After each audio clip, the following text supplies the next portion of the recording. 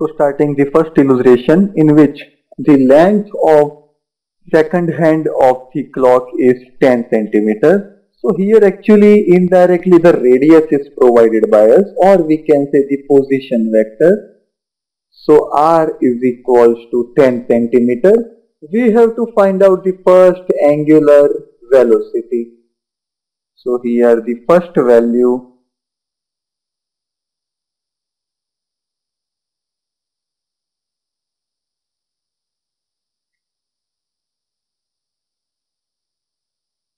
angular velocity in which if you consider that the second hand makes an angular displacement of 2 pi radian so here the angular displacement means d theta is equals to 2 pi radian in 1 minute. So delta t or we can say dt is 1 minute.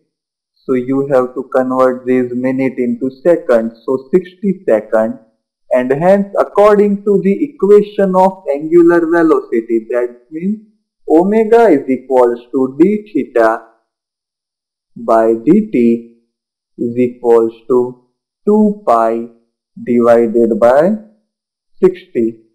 So that is pi by 13 radian per second.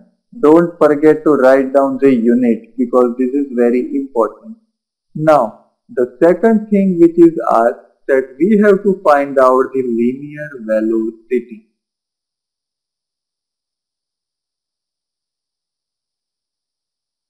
So we know one scalar relation between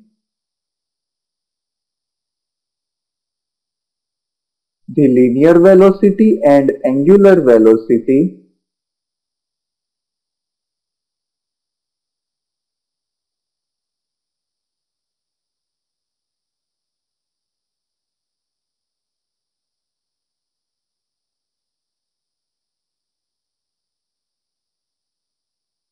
Is given by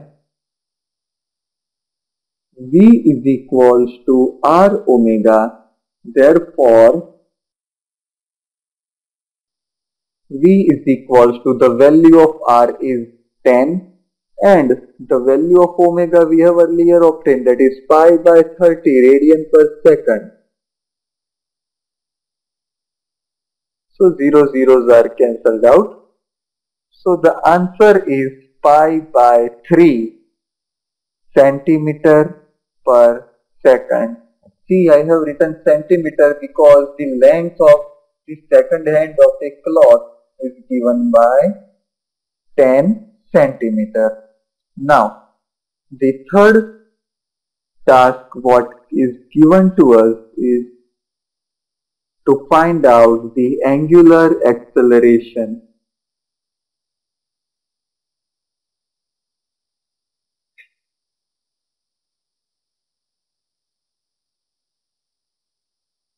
that is given by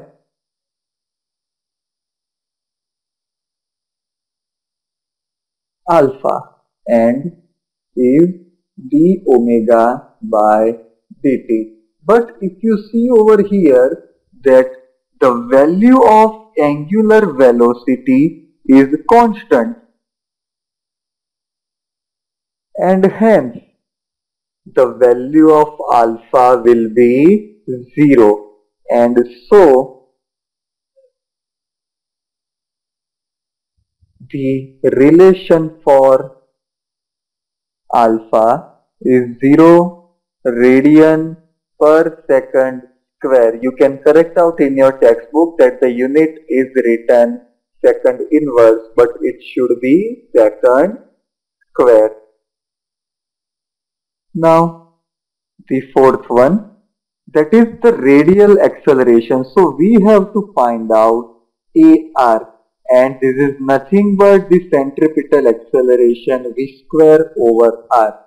So the value of v is pi by 3 whole square into 1 over 10 and that is equal to pi square divided by 30. Sorry, 3 square is 9. So pi square by 19 centimeter per second square. In every quantity you should have to write down this unit otherwise your one mark will be cut. And at last we have to find out the tangential acceleration. So that is AT and we know its equation alpha into r. So alpha has 0, r is 10 centimeters. So finally AT is also 0. For linear acceleration,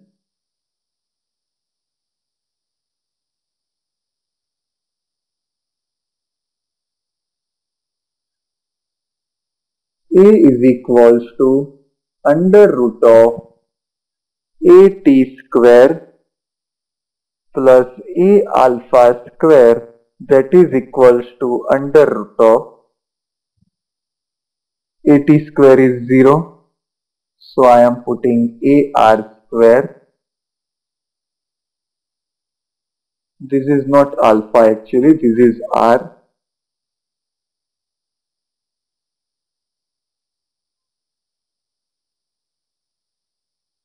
So under root AR square is equals to AR and AR is having the value of pi square divided by 90 centimeter per second square.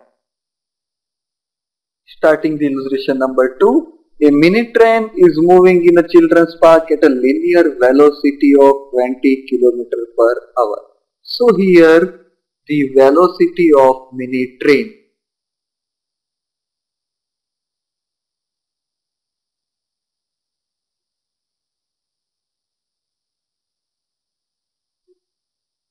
Is equals to V0 that is 20 kilometer per hour that stops in 10 seconds. So now see here the unit is in second and the other one unit is given in centimeters. So we also have to change this kilometer per hour unit into a CGS system and for that I am converting this kilometer per hour into meter per second.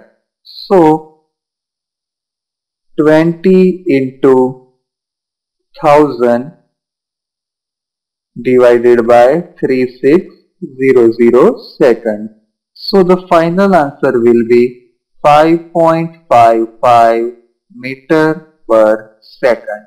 So this is the actual velocity of the moving train.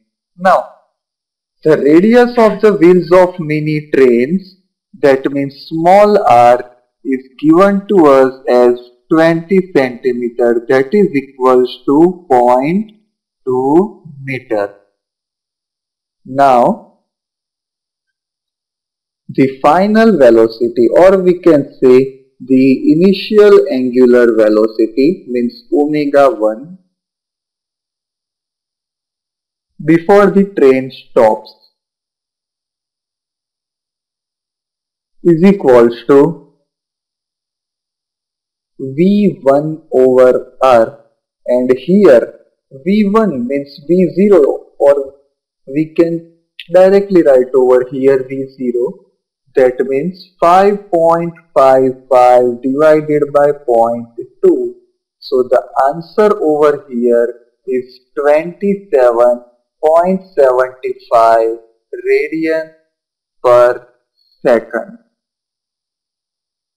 So this is the initial angular velocity and the omega 2 after the train stops the final angular velocity that is equal to 0 and hence now I am consider the time interval from t is equals to 0 second to t is equals to 10 second. So therefore delta t is 10 second and hence the value of the acceleration means omega 2 minus omega 1 over delta t that is equals to 0 minus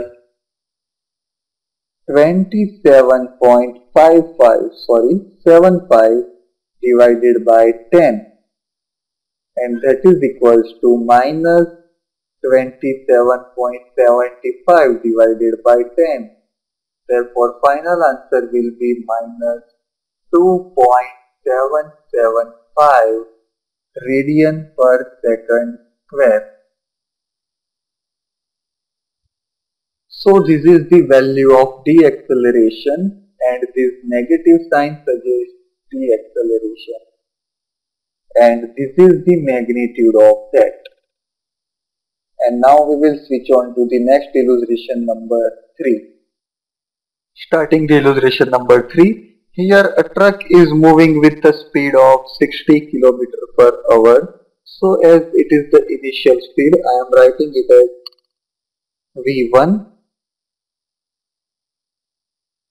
So let's convert it into the meter per second. So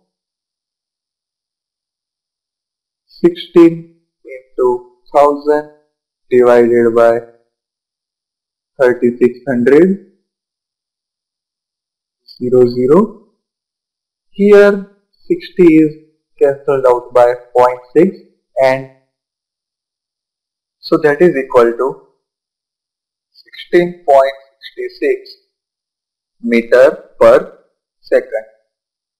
Here the radius of the wheel is given by 100 centimeter.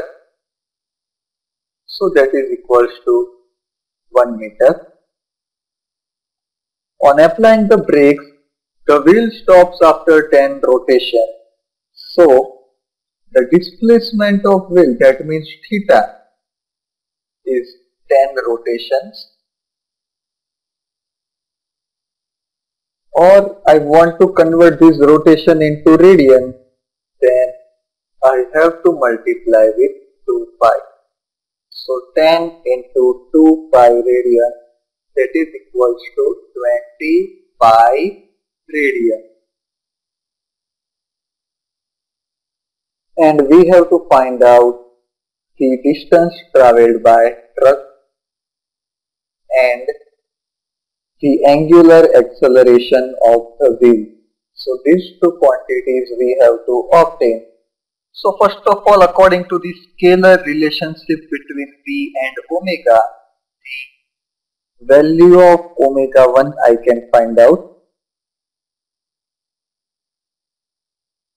Therefore omega 1 is equals to V1 by R and here the V1 is having the value of 16.66 divided by the radius of the wheel is 1 meter. So omega 1 is 16.66 radian per second.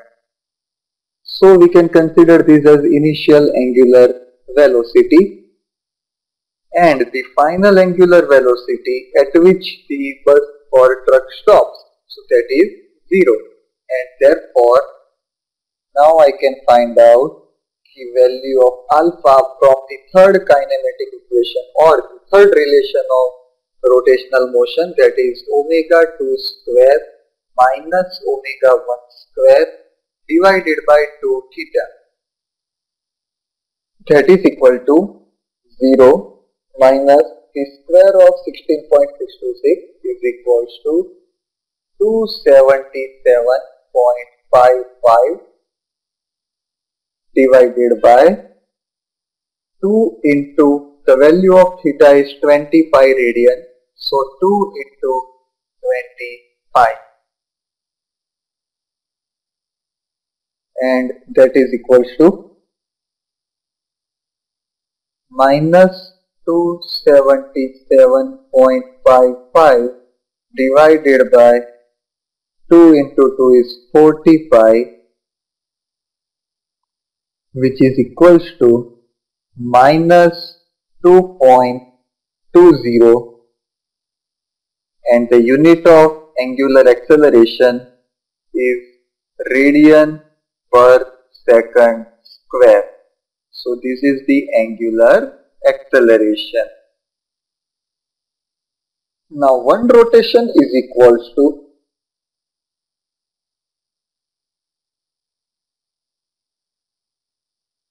2 pi r kind of linear distance.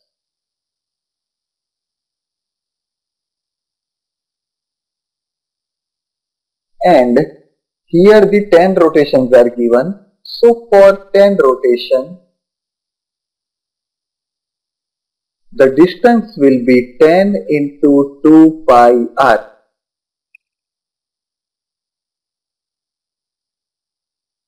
So it is 20 pi r distance and the linear distance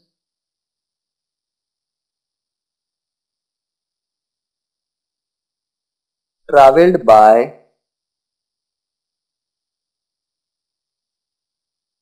the truck is given by T is equals to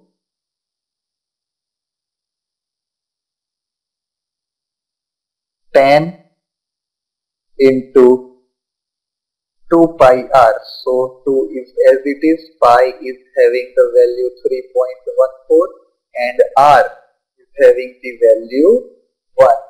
So that is equal to 62.8 meter and with this our illustration number 3 is also over. Now we will study one more quantity in the rotational kind of motion that is torque. Let's start the illustration number 4 which is related to the rotational dynamics in which we have discussed the torque. Here the force acting on a particle R. So here the position of the particle is given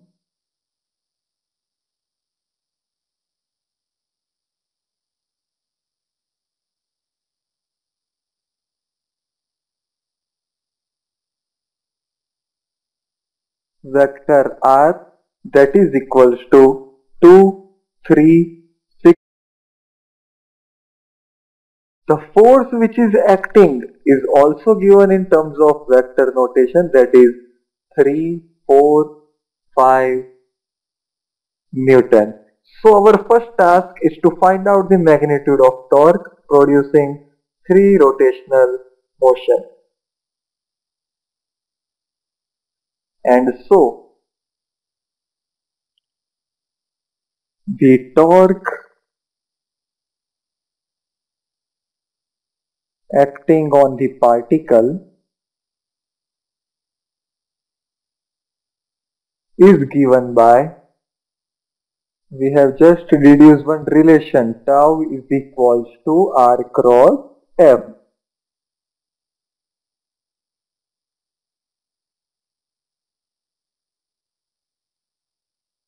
that is equals to i cap, j cap, k cap.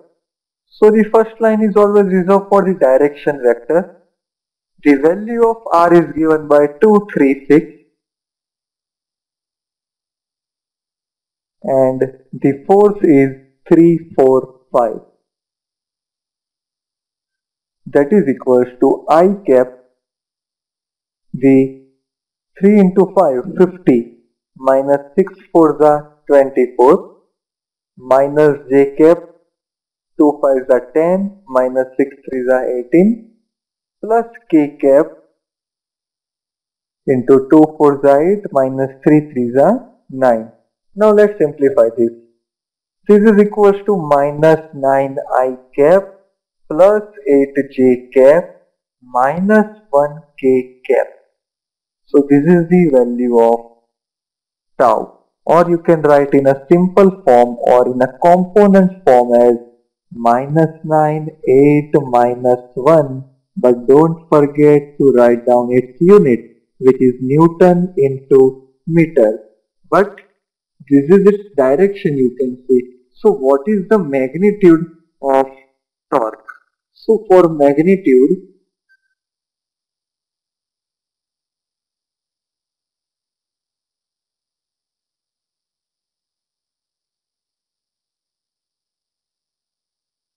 we have to find out the value of r cross f with the scalar product and unit vector. Here the unit vector is given to you 1 upon root 2 into 1 1 1. So the value of r cross f is minus 9 8 minus 1 into 1 upon under root 2. The unit vector is 1 1 1. Here the statement is changed slightly from your textbook. So 1 upon root 2 is as it is. Now between these two vectors I am applying the scalar product.